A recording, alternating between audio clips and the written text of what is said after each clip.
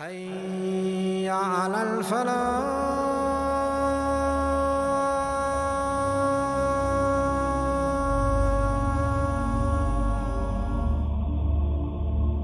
The story of this great and pious and righteous Prophet and Messenger of Allah, Prophet Uzair.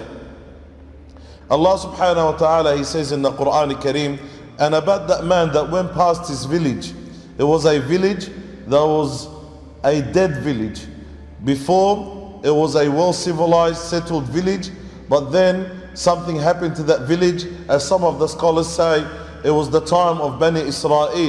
And Prophet Uzair came after the time of Musa alayhi salam. And Prophet Uzair was one of those prophets to Bani Israel, as Allah subhanahu wa ta'ala blessed Bani Israel with so many different and number of prophets and messengers. But Bani Israel never appreciated the number of prophets and messengers that Allah Azza wa Jal will continue to send to them.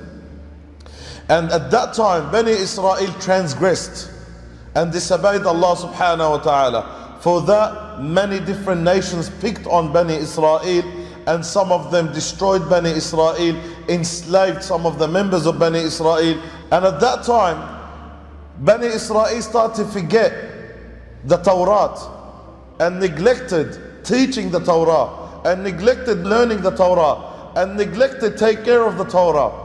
So the Torah was nearly to be lost amongst Bani Israel.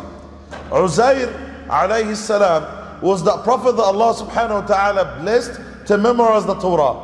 And he was the only man amongst Bani Israel at that time and era that memorized the Torah and knew of the Torah. So Allah subhanahu wa ta'ala wanted a miracle to appear on the hands of Uzair. So the people of Israel, the children of Israel, can respect Uzair even more. And not only that, but can return to the book of Allah Azza wa Jal and the divine revelation of Allah subhanahu wa ta'ala upon Uzair. So Prophet Uzair went past this village, and that village is to belong to the people and the children of Israel. And that village has been destroyed. It's been destroyed, it's been cut down, its trees, the, the houses of that village have been destroyed and demolished. So Uzair alayhi salam went past that uh, village and he was amazed to see the state of that village. After it was a vibrant and alive village, it's been destroyed and the people are no longer living and the inhabitants of that village are no longer there. So he said to himself, how would Allah subhanahu wa ta'ala revive this village and bring it back to life the way it used to be? Not that he's doubting Allah subhanahu wa ta'ala will do so, but he is just asking that question where this village used to be at and where the village is at now. Allah Azza wa Jal wanted a miracle to appear. He had with him his donkey and he had some food. Some of the scholars say it was a bunch of grapes and a bit of bread. So he sat nearby that village, looking at that village from far, so amazed, so shocked to see to the state of that village and the condition of that village. So he ate some of the grapes they had and ate some of that bread, and then he rested under the tree. And he rested early in the morning, and then he slept. Allah Azza wa Jal wanted a miracle to appear. Allah subhanahu wa ta'ala made Uzair sleep for 100 years. He slept for one full century. Then Allah subhanahu wa ta'ala resurrected him. He didn't die. Uzair found himself awake in the afternoon. So he thought he slept maybe half a day or maybe a day or two.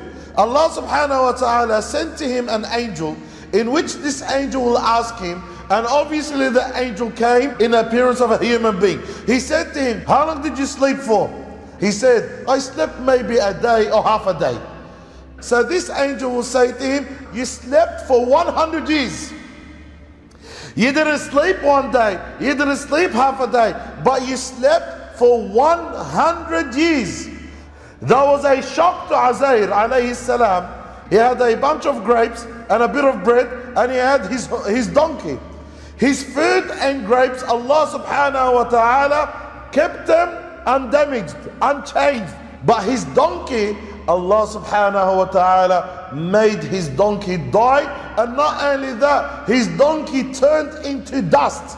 So Allah wanted to show him the miracle how Allah revives the dead, whether to be a human being, an animal, food, or even a village. So Allah subhanahu wa ta'ala, in front of him, him sighting everything with his own eyes, Allah Azza wa Jal made the donkey come back alive the way the donkey was before 100 years.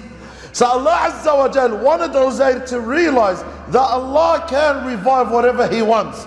Allah subhanahu wa ta'ala can revive the dead. Allah subhanahu wa ta'ala can revive the human being who is dead. Allah can revive the animal in which is dead. And Allah subhanahu wa ta'ala can also revive the village that 100 years prior and before to that, when he visited that village, that village was destroyed. And in that village, there was not even one human being one person living in there after 100 years. When Uzair alayhi salam woke up he went back to that village and he saw that village once again vibrant and alive. People are living in that village. People had settled in that village. People have houses in that village. People have farms around that village. There is the market. There is people there. The village is so vibrant and alive. So Allah subhanahu wa ta'ala answered Oh, Uzair alayhi salam when he says, How could Allah subhanahu wa ta'ala revive this dead village after it's dead? Allah subhanahu wa ta'ala revived it and Allah azza wa jal showed Uzair how Allah brings the dead back alive, whether to be a human being or even an animal. Not only that, even when there's a dead village, Allah subhanahu wa ta'ala rejuvenated it, Allah azza wa jal revived it. And then when he went to the village, Uzair alayhi salam had good reputation amongst the people of Israel. He had a very good reputation amongst the children of Israel. And he was known to be a righteous, pious man. And not only that, he was also known to be the only man that memorized the Torah.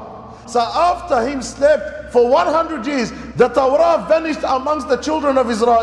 They had no connection to the Torah except very little of what they've heard from their parents and their grandparents. So when Uzair woke up after 100 years, he went and visited that village. And then the people of that village surrounded him. And then they asked him, Who are you? He asked himself, What do you know about Uzair?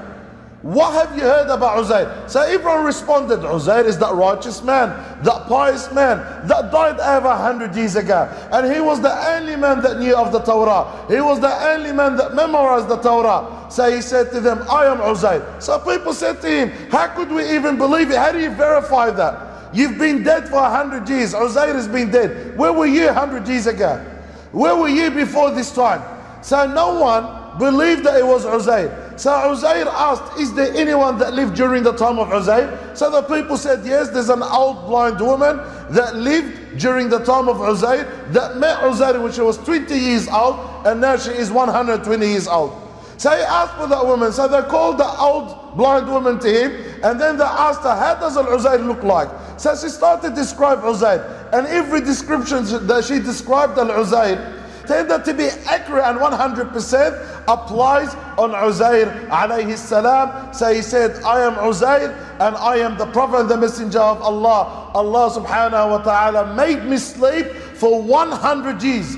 100 years he slept for Allah subhanahu wa ta'ala then brought him back into this world and then the people and the children of Israel surrounded Uzair they loved Uzair so much they respected Uzair so much and Uzair revived the Torah amongst the children of Israel at that time and he was the reviver of the Torah and the teachings of Musa, the religion of Islam amongst the people and the children of Israel at that time.